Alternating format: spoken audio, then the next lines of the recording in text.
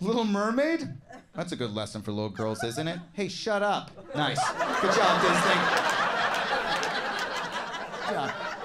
You nailed it. Oh, that movie is it? Oh, the prince in that movie is wild.